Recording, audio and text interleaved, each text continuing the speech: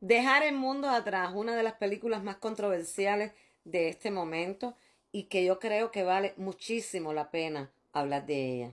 Me hubiera gustado muchísimo poder tener la oportunidad de ver análisis de varias personas, pero hasta ahora los pocos que he visto pues no coinciden con mi opinión.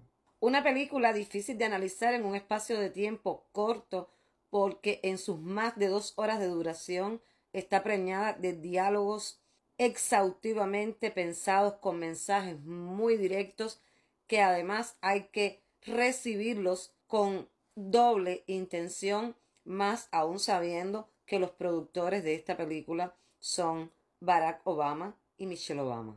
Una película que en primer lugar yo no tengo la certeza de si está creando un estado de pánico, está describiéndonos algo que va a suceder y que tiene planificado alguien, o si solo le está dando instrucciones a los enemigos de los Estados Unidos de qué hacer y cómo hacer para destruir este país, porque exactamente la destrucción de Estados Unidos es lo que describe esa película.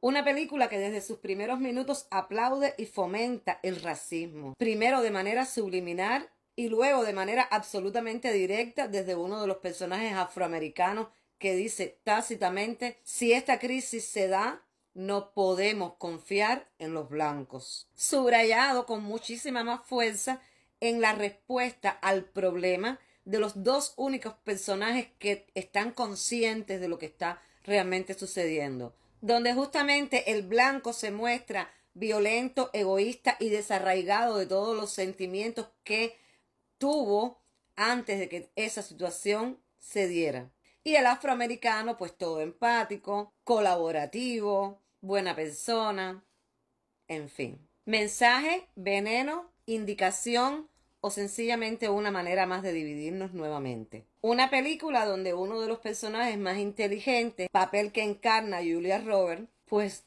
lo primero que define es odio a las putas personas. Y el personaje más humanamente normal, pues se autodefine como un dependiente absoluto de la tecnología y un ser inútil a pesar de ser profesor de una universidad. So, incapaz de comprender, incapaz de reaccionar, incapaz de tomar ninguna decisión sobre nada. Pero el personaje que más interesante me parece y del que absolutamente nadie habla es el de una niña de apenas 13 años que desde el primer minuto se muestra con una mirada inexpresiva, absolutamente rígida y que de manera inexplicable la mitad de la película aparece esa niña de 13 años con un pullover de la NASA, obsesionada totalmente por el placer instantáneo que nos producen las pantallas. Está totalmente deshumanizada porque es el producto de dos padres que trabajan mucho, mucho, mucho y que ni siquiera saben qué es lo que ella consume. Y eso que ella consume a través del televisor, de los celulares, etcétera, es lo único que ha formado su criterio, su carácter, que sin importarle la situación crítica de salud en la que estaba su hermano, que sin importarle dónde estaba su padre, que aún en el último minuto, escuchando los gritos desesperados de su madre, ella elige abandonarlo todo buscando esa satisfacción que es absolutamente lo único que le interesa. Paradójicamente llegando al único lugar donde se puede estar a salvo sin importarle absolutamente nada más. Te repito, es una película que en sus más de dos horas de duración es un bombardeo de mensajes directos y subliminares. Amaría escuchar tu punto de vista, amaría leer tu criterio, amaría ver tus comentarios. Pero antes me quiero despedir con una de las frases del personaje protagónico.